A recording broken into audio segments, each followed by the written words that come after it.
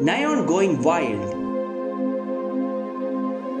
Twice Nayeon has been making once around the world crazy each day by depicting concept photos of her solo debut, Pop, one after the other.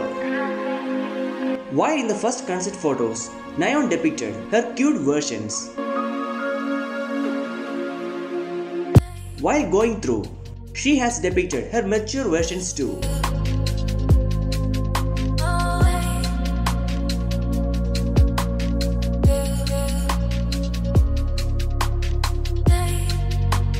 But in the recent photos uploaded on her Instagram, Nayeon has gone beyond the boundaries.